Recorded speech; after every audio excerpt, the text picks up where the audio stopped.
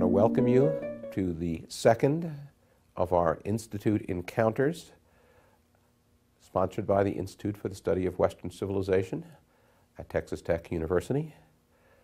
Our guest today is Professor Frederick Turner. Professor Turner is Founders Professor of Arts and Humanities at the University of Texas, Dallas.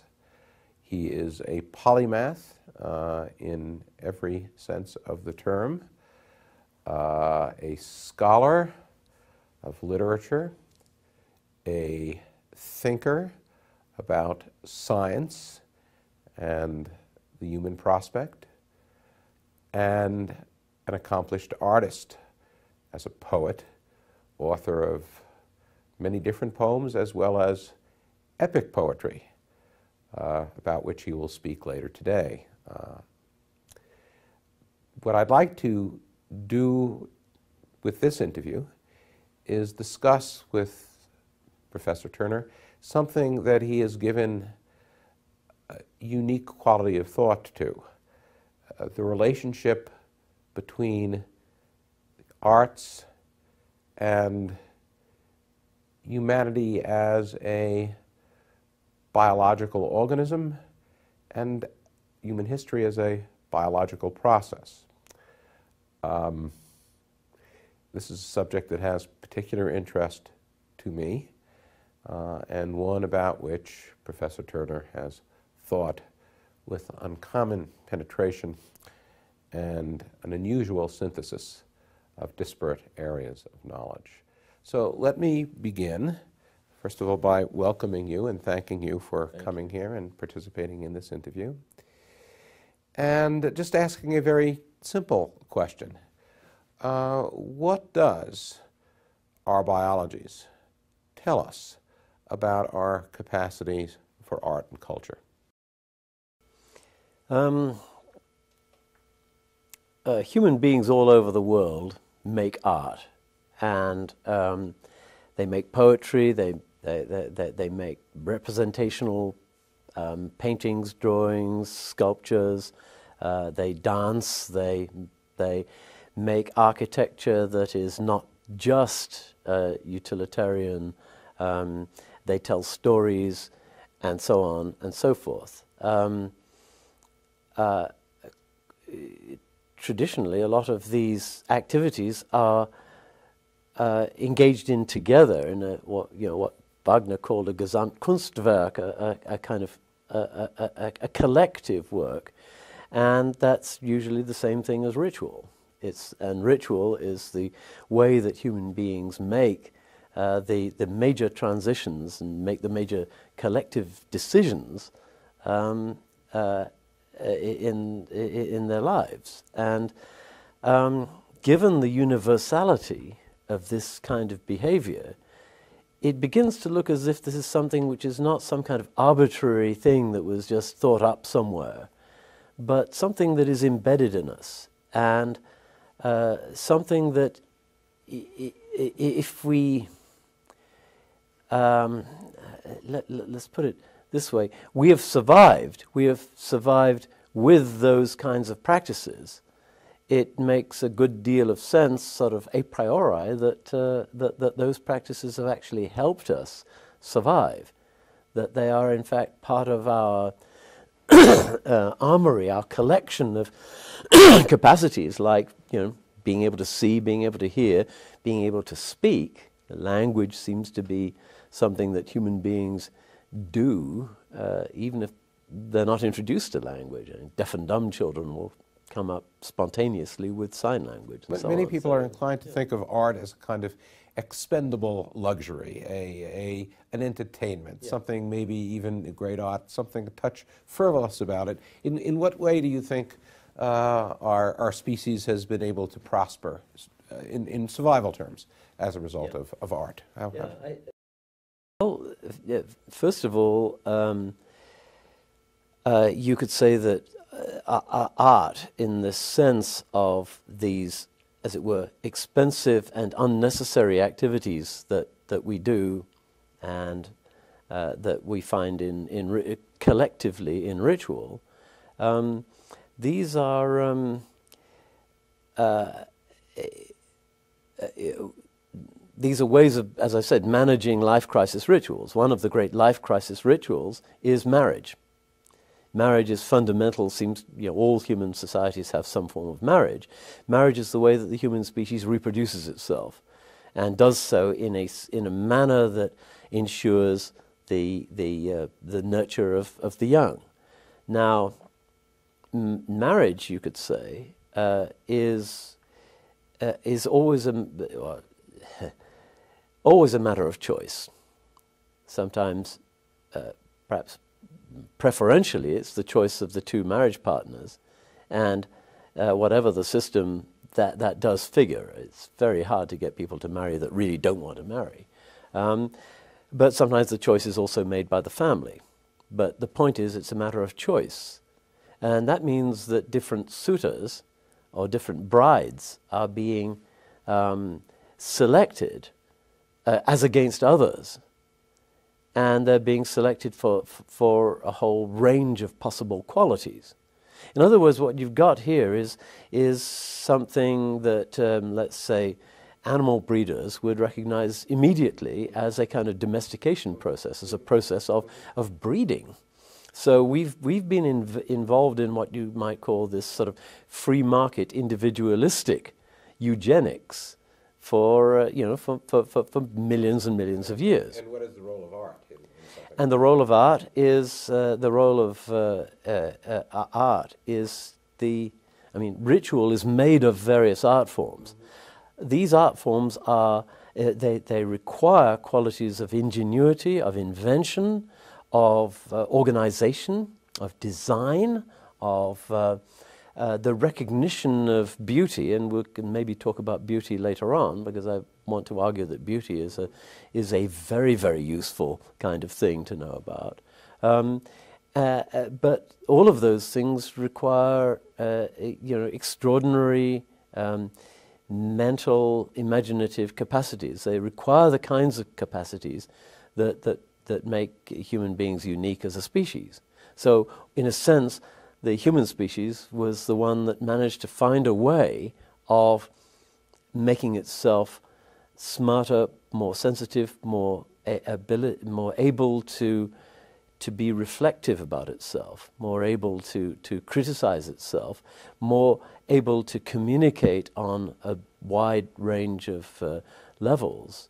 Um, art, for instance, is is a way of communicating, you know, in a broadband kind of multiple way as opposed to something like a simple signal. Art can, can convey a, a, whole world, a whole sort of set of experiences. And great art, as we know, um, uh, you know, you say a Shakespeare play or something like that, uh, the amount of information that is poured from one mind, from Shakespeare's own dead mind into ours, is, is staggering.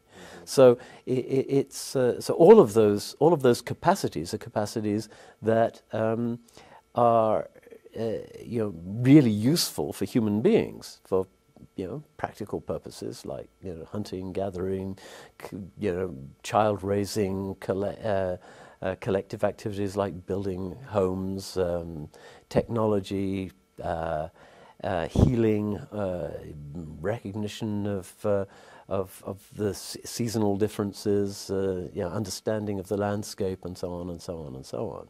It, the, the, the, this, is, this is our way of breeding us into being better human beings and at all the things that human beings are good at that make them uh, that made them so but successful. But let's come to that question of, of beauty. Not all of what you described would necessarily be experienced as beautiful. Um, some of it would be, and that beauty adds something to the rest, or at least creates a kind of attraction to whatever the rest of it is that otherwise would not be as powerful. Uh, but maybe you can enlarge uh, on, well, on, on, that. Maybe I would use that kind of um, that kind of language. I don't think that beauty is something that you can sort of slather on to the surface of something that is already there. Um, it's not a prettying up of something. It's not that you have a, a utilitarian structure and then, and then you sort of mm, uh, uh, make something pretty on it. Then, and what, under what circumstances does it emerge, and what does that emergence reflect? In one sense, um, beauty is, is, is the internal uh, characteristic of, uh, of synergy among all of the parts of something. Um, uh, I mean, take for instance the Gothic cathedral. You've got tremendous constraints of, you know, what you can do with stone. I mean, stone is very good at compre- uh, it has great compression strength, but not very good shear strength or torsion strength or tension strength. So, um, in a sense, the the the the, uh, the the beauty of the Gothic cathedral, the kinds of forms, curves, arches, and so on that that you find in it are um, are, are, are are organic to it. It's not that you you, you know, you put up your cathedral and then you make some nice arches and forms because they're pretty. Uh, the, it's, it's, it's inherent in the object itself. Um, uh, there's some truth, although I sometimes argue with it, there's some truth in the modernist idea that form follows function. And I think they're getting it part of the idea that, that, that, it's, that it's, it's not something you just put on the surface. Uh, certainly, Yeats, uh, William Butler Yeats, would write out a paraphrase of his poem before he turned it into poetry. Mm-hmm. But that's really like, um, uh, you know, the paraphrase is really like pentimenti. It's like the line drawing that a, that a, a painter will make mm-hmm. uh, that is going to be covered uh, going to be covered up with uh, with paint. Um, uh, the, the, it's the painting, not the sketch, that, that is that constitutes the work of art and does the very powerful emotional and psychological things that art does. So I would say that beauty is something that is, well, not skin deep. Um,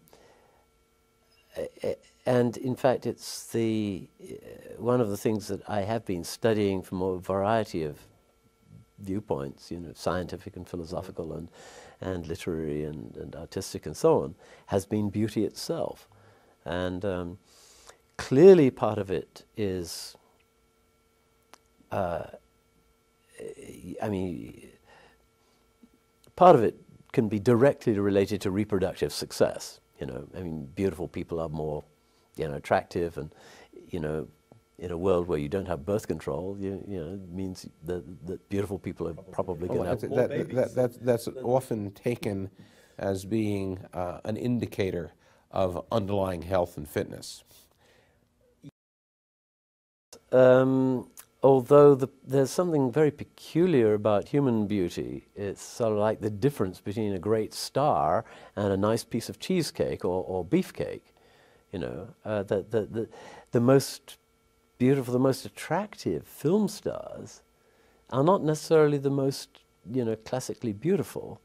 Uh, it's, it's not just the promise of reproductive success, although that can be a, a sort of uh, uh, uh, you know, that's the meat and potatoes of the, of the thing. It's also the, the, the, there's also the whole, you know, the elegance of the, of the, the, the gourmet chef that has gone into it, if you see what I mean. Um, uh, one of the one of the things that, that, that, that I found out about beauty is that beauty certainly does require uh, elements of order and of symmetry and so on, but it also requires elements of order breaking and symmetry breaking and a, a vitality, a, dy- a, dynamism. And, uh, you know, we find um, regular geometrical forms beautiful, but we find fractal forms that are formed, you know, that are the result of, of continuous feedback processes. Um, we find them more beautiful. They, they, they have a greater depth to them. So um, the, uh, the, the experience of beauty is the experience, it's the ability to take as a whole a whole mass of interacting elements and characteristics. Um, uh, whereas a, you know, a, a more rational, analytical way of thinking would only be able to take one and understand it, but wouldn't be able to see it as, as an interacting whole. Mm-hmm. So it's a kind of synthetic process. Um, but you, one could also say that, that, that, that it, it, it's, it's the recognition of synthetic processes as well. That I think that if we, if we find a landscape beautiful, then is essentially we're finding it not necessarily consciously, but unconsciously, we're finding it to be a landscape that is likely to be productive of, of new events and uh, of, uh, of, of interesting things that might, that might happen. If we, if we uh, you know, if we find, you know, we find flowers beautiful, and flowers are the, they are the reproductive organs of plants. They're the promise of more flowers to the, uh, in, in the future. You know, we find um, uh, uh, uh, tools beautiful because they, they, they have within them the capacity for doing all kinds of things. It's, a, it's, the, it's the promise of something uh, it's a potentiality for the, for the future.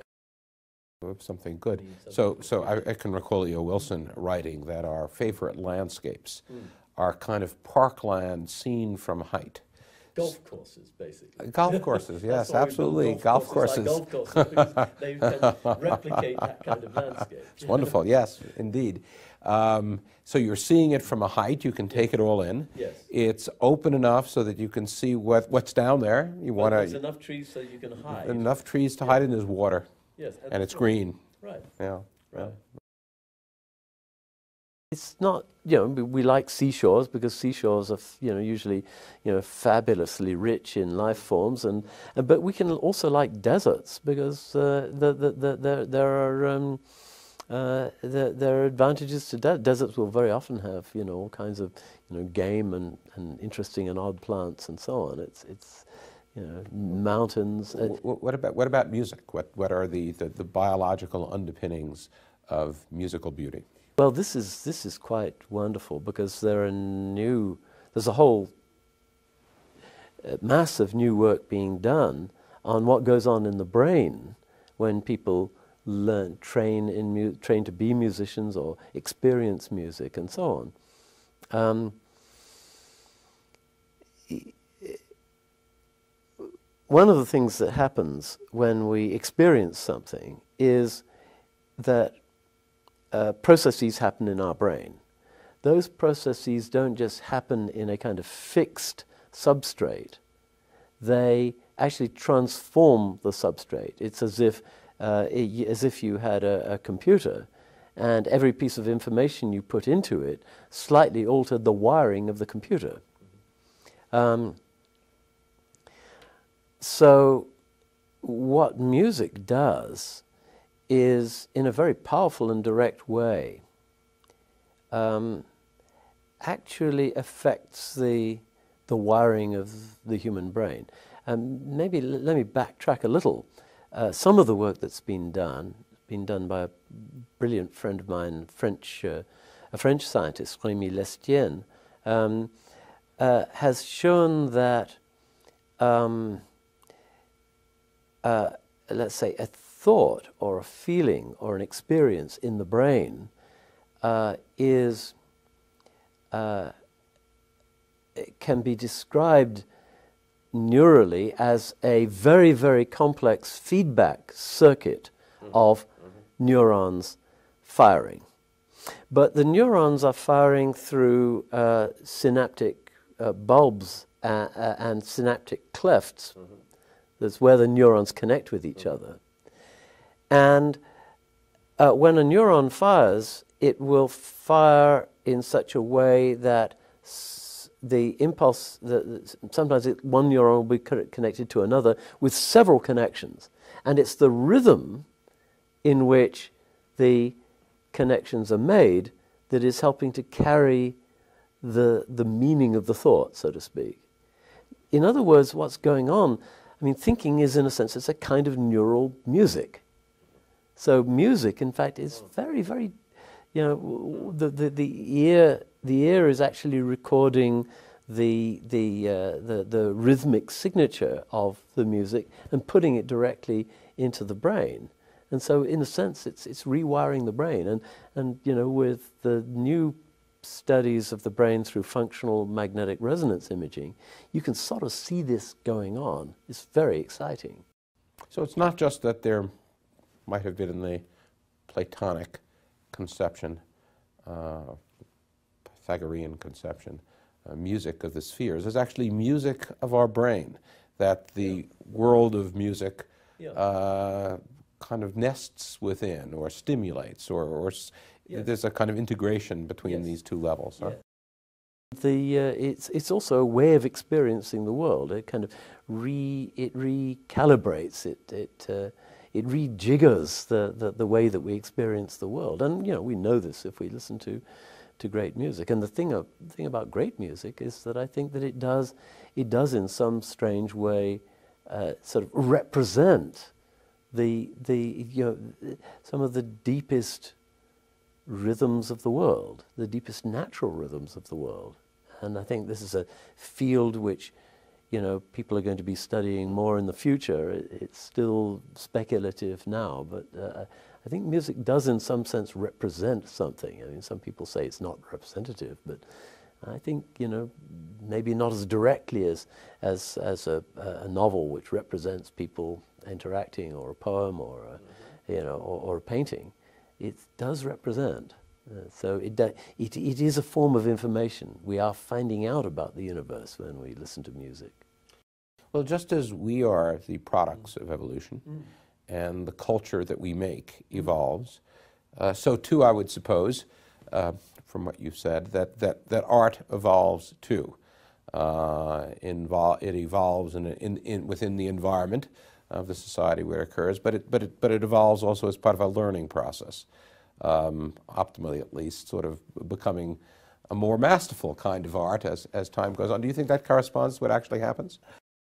Well, uh, frankly, no. I mean, I don't think anybody has written significantly better than Homer and uh, Shakespeare and Virgil and uh, uh and so on, and Goethe and and uh, uh, you know the great the great the great poets. you know, we we know enough Roman and we well we know quite a lot about Greek sculpture and you know it's still state of the art. Um, and Roman painting, we, we know enough about Roman painting to know that that we we have some examples like the you know the house of the um, of the the the the, uh, uh, the priestess uh, in um, Pompeii to know that they that they were no slouches. Um, There's certainly been a multiplication of media, though. Multiplication of media. Um, and what I'd say is something like this that it, it's not that new works of art are kind of, in some kind of evolutionary improvement way, better than old works of art. It's that new works of art actually add to the body of, uh, uh, uh, uh of art. That art does progress in that new works of art are added to it. Sometimes the addition the rate of the addition is, is huge, as in, say, you know, classical Athens or Renaissance England or something like that. Um, uh, and sometimes it's slower, um, uh, but it, it, it's, it, it's, a, it's, a, sort of accumulating body of, of the aesthetic experience of the universe and of the human race. So there's a sort of aesthetic ecology, which becomes ever more rich with time. Yes, mm-hmm. yes, yes, yes. Um, I mean, in, in, in certain forms of art, certainly in, in, in music for a long time, mm. uh, there, in retrospect at least, seems to have been a, an increasing Western music, increasing development of complexity, polyphony, development of large orchestras, big ensembles of instruments of various kinds, pieces written for them of various kinds. Uh, feels like opera. There seems to be that kind of development, uh, perhaps with pauses and some retrogressions, but a kind of general forward moving. Is that unusual? Um, is, is, is, uh, if, if to that characterization of the last thousand years or so of, of Western music is, is, is accurate, uh, is that something simply that's a peculiarity of, of music history, or uh, you seem to be suggesting that it's not the general pattern that you see? Well, Jacob Burckhardt did come up with this uh, theory of um, uh, that, that, that an art form will go through a sort of uh, a, a, sort of nascent period. It, it, it, it's sort of an early, undeveloped, immature form, and then then it will uh, get into its um, its early maturity, and then it will get into its classical phase, and then it will get into a, a, a sort of um, uh, what was the next uh, term that he used? Uh, um, uh, a sort of expressionist phase, and then a Baroque phase, and then finally a Rococo phase, in which it's become too refined, too, too elaborated, too, too much. Uh, there's too much self-reference in it. That, that, that it's sort of gradually the, the, the, the growing tree has uh, overextended itself and is no longer getting the healthy sap from the popular and folk roots of it. And um, uh, I think you can see that happening in, in, in, whole, in a whole range of, uh, of, uh, uh, of artistic genres. And I think that did happen with, you know, with uh, Western music. I, uh, different people would disagree about different things. I mean, some of us would say, well, in fact, you know, it's, the, it's Bach and that, that period that is the, the, the that is the peak. Mm-hmm. And some would say, well, no, it's Mozart, and some would say it's Beethoven. But, you know, as you go on from there, you're going to get fewer and fewer mm-hmm. defenders. You know, maybe there might be some sort of Mahlerians, I mean, uh, but, uh, you know, it's, it's uh, uh the, the, no, no one would claim Philip Glass, you think? I, uh... Actually, actually like Philip Glass, and I'm sort of looking in a way in, in some kinds of, uh, in various kinds of music. I'm sort of uh, including pop music and um, uh, uh, uh, you know, all the various genres of, of popular music, you know, from, from highly popular, highly commercial kinds to highly uncommercial kinds. I'm looking for you know, where the, where the next cycle of music is going to come from. And uh, world music, that's another area that is very interesting. There's all these kind of meldings of musical traditions, and maybe something is coming out of that. So that, that's sort of the way I would, uh, way I would see it. So you think there's a, we're sort of at a point of, of promise in that you have various yes. streams yes. flowing into one another, yes. huh? Yes. Yes. yes. what what uh, it, there, you know there are there are other aspects uh, to art um, uh, beside the sort of synthetic processes mm-hmm. you're talking about. Uh, art has a relationship to technology as oh, well yes. as it evolves. Yes. Art evolves too.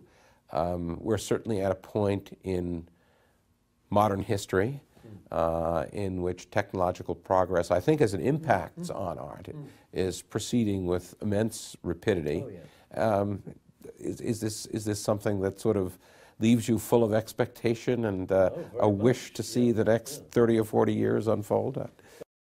Uh, uh, in the sense of my area of study, I, I started out as you know as being interested in Renaissance literature and Shakespeare and you know the great Renaissance writers, and so um, I'm inclined to sometimes use words in a Renaissance sense. And in the Renaissance, the word art covered what we would call technology.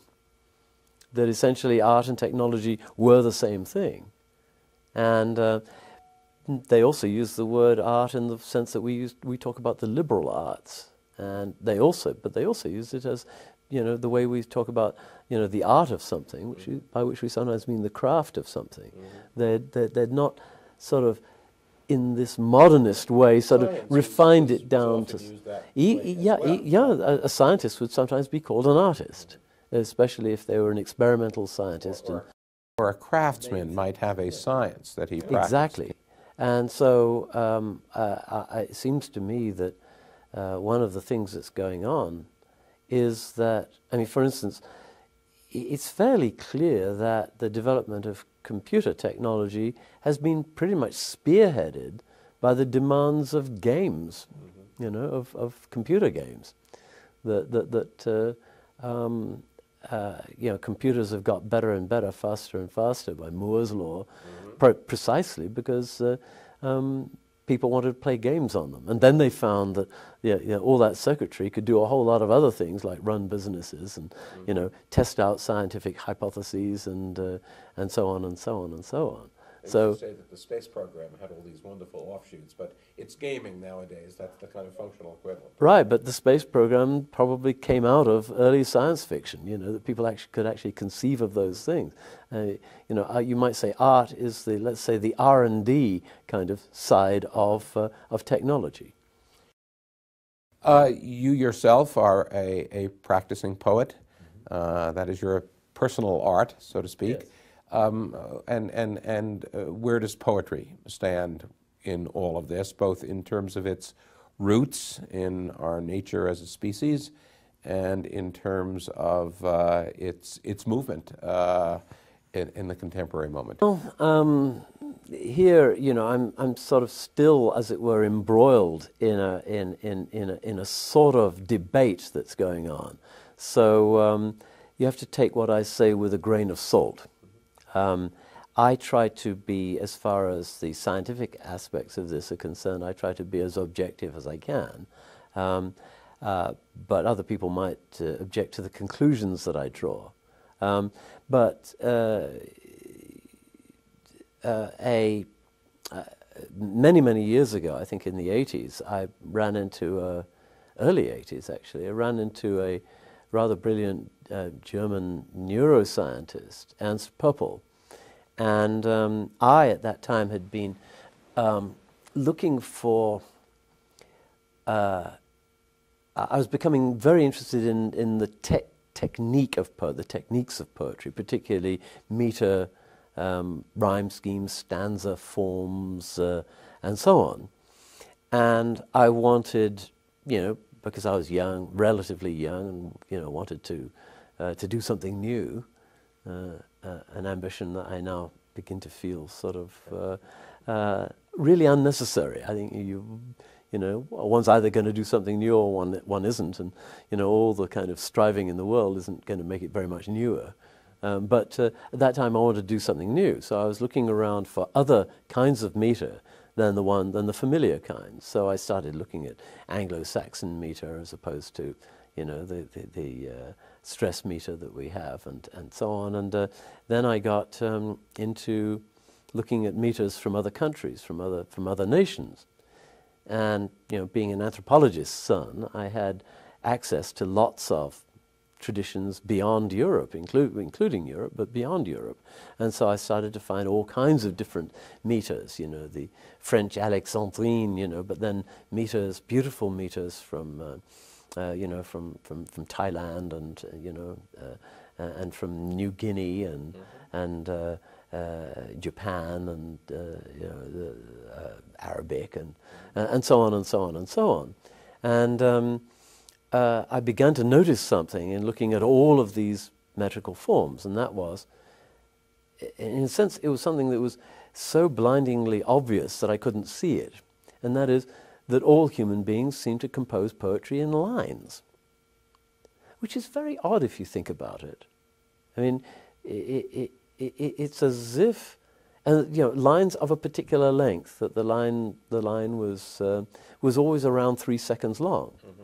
It's as if you, you know, you had a, a whole race of intelligent beings that, let's say, painted pictures, and the pictures were always between about two feet square and one and a half feet square.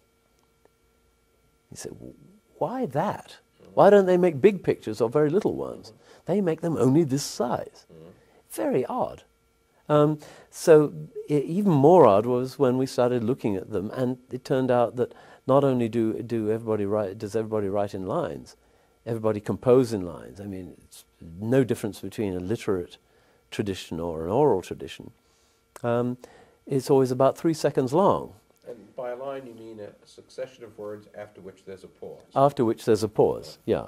And uh, which usually has some kind of grammatical integrity in itself, so you don't just uh, you know, break in the middle of an and or something like that. Um, uh, and uh, then the, the, lines themselves have a rhythmic, rhythmic in integrity that is repeated from line to line with variations, with lots of variations, but it's a basic rhythmic integrity to each line, and that the ends of the lines are, off, or, or the beginnings of the lines are often accentuated with something, mm-hmm. particularly rhyme. Mm-hmm. Um, and this seems to be, um, you know, across the, the world. And other people, well, we published a piece on it called The Neural Lyre, Poetic Meter, the Brain and Time, uh, in which, uh, which has been you know, reprinted a lot and is now you know, fairly fundamental to the field of audiology and speech pathology and has, a, has been used extensively in studying communications between mothers and newborns. It's related to short-term memory, perhaps? It's related to short-term memory. What it came down to was that, um,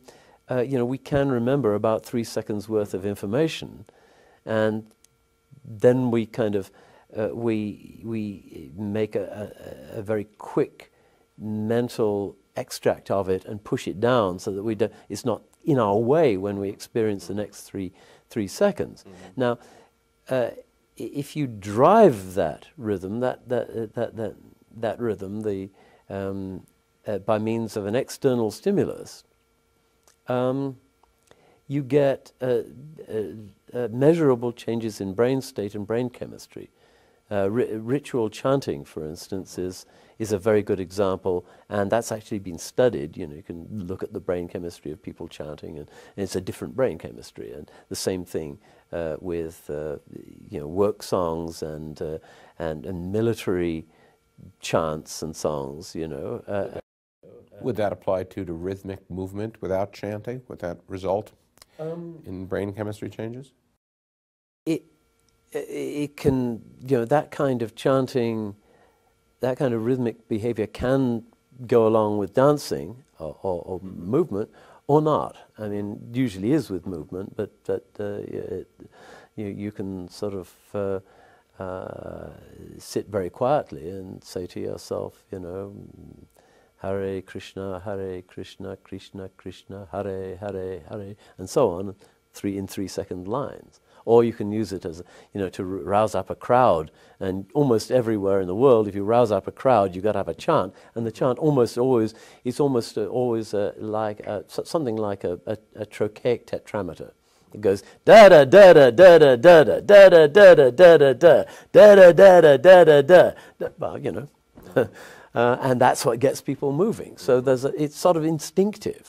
Um, now, what poetry does is it makes variations on that. So instead of, you know, shall I compare thee to a summer's day, thou art more lovely and more temperate, which is, would be mm-hmm. the, the, the basic meter, it's shall I compare thee to a summer's day, thou art more lovely and more temperate. And so you can hear the, the chant underneath, but then on the surface there's this elegant, mm-hmm. civilized variations on the basic emotional drive. Um, so, well, uh, th- what this set of discoveries, um, there's also very interesting stuff because you know, we, we process language usually with the left side of the brain, everybody knows that. the right side of the brain processes pro- prosody, and prosody is, this, is the term we use for the rhythm and music of poetry, among other things. And so, what happens when you uh, have metered poetry is you're using the whole brain rather than half of the brain. You're, you're, uh, it's in stereo, so to speak. And also, there's very strong evidence uh, of all kinds that this makes language much, much more memorable. So it makes it, I was talking about the, you know, the, the synapses, it, it, it makes it much easier for a piece of language or an idea to become embedded in our actual, uh, the, actual wi- the actual wiring of our, of, of, you know, of our, of our, of our brains. And uh, when, you know, when you don't have writing and other forms of recording, uh, that is the way that, you know, uh, uh, tradition and knowledge is passed, information is passed down from one generation to another. So it's a way of facilitating information storage. Uh, uh, uh, yeah, exactly, and and retrieval too, of course, because you know if you if you know what the meter is, then you can sometimes bring back what the words are if they're, they're hazy in your head. Does it does it prime the brain for anything else? Does it create a state of readiness for other things? It tends, uh, well, ritual chanting is very much associated with cooperative action between human beings. It makes many human beings act as if they're one, and so that their unit of selfishness, so to speak, becomes the group rather than the individual. Um, uh, but it also, it also makes possible a state of relaxed awareness. It's related to the, the effects of the alpha rhythm, and uh, therefore uh, an ability to reflect on things, uh, an ability to, uh, to to take things in as a whole rather than, um, you know, narrowly focus on something. Um, it's, it's the, uh, related to the ability to synthesize all kinds of things. Kind of and, and also metaphor. It makes, uh-huh. it makes us l- much more able to recognize and experience metaphor. Right, you know, if, you know, it is the east and Juliet is the sun. Um, if you say Juliet is the sun, then you, you know you're liable to, if you're being rational, you say, well, Juliet is not a huge ball of flaming hydrogen. You know, I mean, you put it in meter, you put it in, a, in, in, in, that, in that form, and the, the metaphor comes through, and it's easier for it to come through. Well, obviously, um, this set of understandings about meter and, and rhyme and so on uh, caused a little bit of a revolution in the whole poetic community, which had sort of mm-hmm. decided that free verse was in fact better than these old sort of nursery rhyme sounding rhythms and meters and, and so on. And they, that, that, that, that uh, uh, you know, it, it looked as if they were missing out on this enormously powerful and ancient shamanic sort of uh, neural technology, psychological technology that, that, that, we'd had for all these thousands of years, tens of thousands of years, you know. So um, uh, it, it, the, the, the, the, debate is still going on. And, um, uh, but the new formalism came out of this set of discoveries, and it's now sort of pretty much everywhere. There's even a Vietnamese new formalism, uh-huh. uh, believe it or not, which I've kind of been involved with to some extent. Here's a case where scientific research has influenced the direction of art. Oh, well, hugely, but in a sense, it influenced it by pre- precisely by understanding it as art, mm. which is kind of interesting. Just one more question as you were talking about that. I kind of wondered whether anyone had investigated whether uh, these kinds of mental experiences mm. poetry provides, other forms of art as well, might in fact be good for you in a general way, might be conducive to health and well-being. Considerable evidence that yes, it, it, uh, they are. I mean, there's, a, there's a British, uh, uh, uh, uh, I forgot which university, but the British researchers have found that, that poetry can in fact have a, a, a you know, when understood. I mean, a lot of these things, sort of, there has to be some kind of understanding. Um, uh, with music, you don't need very much, but you know, with poetry, you need a bit more. To appreciate great visual art, you know, uh, we've got a basic set of capacities for picking it up, but there you can train, you can be trained to see to, to do it better. But it is good for you. So I might consider trading in my daily swim for a daily poetry session well, adding adding poetry suggesting to your daily swim. You know, I mean, you're, you're in great shape, Steve. You know, don't, don't want the, don't let that go. well, with that advice, let me thank you very much for a, a, a very illuminating discussion, uh, and um, uh, our audience should stay tuned for, for more as the year as the year progresses, the academic year progresses. Thank you, Uh, Professor Turner. Thank you.